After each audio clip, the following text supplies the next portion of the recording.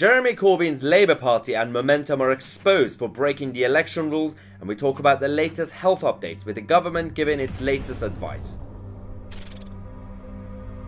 Well, today's going to be a big video. We have an exclusive uh, leak, uh, an expose that's been done by the website Wolves of Westminster. Uh, we have been given a document that exposes the Labour Party and Momentum, specifically the, the campaign group that was behind Jeremy Corbyn's um, leadership election, and now, uh, but since then they've been running the Labour Party, and now they're behind Rebecca Long Bailey's election campaign. Uh, so we're going to go through this uh, document. Uh, towards the end of the video, we're going to give you the latest health updates uh, from the government and uh, the reaction to it from the media, with Katie Hopkins going up against Nigel Farage. And so let's start with the momentum. So this is a document we received from the Wolves of Westminster that exposes uh, momentum uh, misleading its activists into breaking the election rules. Uh, so, uh, according to the Wolves of Westminster, they've revealed that uh, the pro Corbyn campaign group Momentum, along with many of its activists, committed significant breaches of electoral law during the uh, general election campaign. this is the 2019, the latest recent general election that we just had. Uh, the offences relate uh, to the mass printing and uh, dissemination of election leaflets with an invalid imprint, which is illegal under the Political Parties, Elections and Referendums Act of 2000. Now, this is a side campaign that they started during the 2019 election stuff uh, to uh, start spreading fake news about the NHS. So they did a lot of uh, NHS related leaflets around the country. So we're now used to having the Labour Party cheat and local elections, council elections, and uh, specific constituencies. Uh, we remember what happened in Peterborough during the by-election and what happens on a regular basis in Tower Hamlet in London, uh, where they find various ways to cheat their way into winning, and they they're quite successful. Uh, but this time it's nationwide and it's going to be quite big. And I believe, hopefully, the mainstream media will pick this up at some point. I think there's a big push to make this happen. So let's uh, get into the details. So these screenshots uh, refer to an email that was sent by a Chloe Tomlinson, a Momentum officer who uh, the sources say uh, hosted the uh, organizing calls and everything in the past. Uh, the, this guide suggested ordering the election materials in bulk uh, from a company called Solar, Solar Press uh, or another similar mass printing service, while also directing activists to a Facebook group set up by Momentum to allow members with some money to spare to cover each other's costs for this campaign expense. This is a, an example of a leaflet that they created, that Labour created the NHS, our beloved NHS, the envy of the world, and how the Tories are going to privatise it. You know, obviously, that's always been the plan, apparently, even, even though it's never happened, even though we've had conservative governments previously. Uh, so these, these sort of uh, misleading fake news leaflets that were created, and they've got quotes from emergency nurse practitioners like Lucy uh, Shapcott.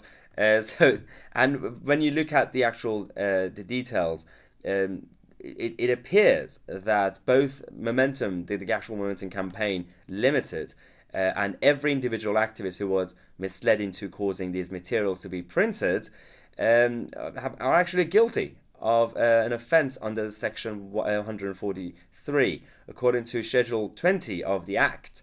Uh, the maximum penalty for such an offence is a fine at level 5 on the standard scale. Now, this is an unlimited amount if it actually happens. Uh, we have to kind of uh, wait and see if uh, the authorities would do anything about this. Now, we do have some WhatsApp screenshots. Now, before we show you the actual leaked WhatsApp conversations that we have from uh, Momentum, it just a warning, it shows you the idiocy of uh, the people, the organizers. So the ordinary activists out there from each party they uh, then they they're not obliged to follow every single regulation to make sure that everything's going well. The, the agents and the, the campaigners, the organizers, it's their job uh, to advise things properly. Now, uh, let's have a look at this uh, group chat because we have a message from uh, Michelle. The group chat was called Let's Go NHS, obviously. Uh, it says, Hi, I have a similar query. Uh, I spoke to the local Labour Party this morning, who I am canvassing with tomorrow uh, to ask how many leaflets I should get printed to bring along tomorrow. And then they raised the same query that they were concerned about the electoral uh, expenses. and I would need to get okay from the uh, local coordinator. So someone actually raised a concern, and, and then uh, we had others responding. Uh, to this, uh, I mean, actually, there's another person, Joe, that said, "Hi, Miranda. We have a Facebook group where people offer to help each other with costs. Well, that's I'm sure it's costs for campaigning purposes. It's not charity; it's solidarity. Uh, Lucy used this yesterday, and someone helped her with printing costs. Yeah, you can't do this, guys. Like, it doesn't work this way. And some of them probably didn't know, but the people in charge definitely knew this. So we had Chloe, the person in charge, responding, "Brilliant with spending. The best thing to do." Uh, organize printing yourself as a volunteer or activist rather than an official Labour Party or group then ask someone in this group to sponsor you. It's a very unofficial system, but help. Uh, but people are genuinely happy to cover the costs, so don't be afraid to ask big order lots, uh, including leaflets and badges. You know, there's another word for unofficial. Yeah, not legal. there's a there's a reason we have procedures and uh, formalities. I I don't understand. Um, the organizers like Chloe Tomlinson and others have been in momentum for a long time. At least when it comes to the Labour Party and the left, these are professional activists. They live their life like that. Like Jeremy Corbyn. We always say Jeremy Corbyn is not really a politician. He's a student activist in the clothing of a politician. Uh, so these people are obsessed with knowing how these sort of things work. Uh, so it's unreal that this actually happened.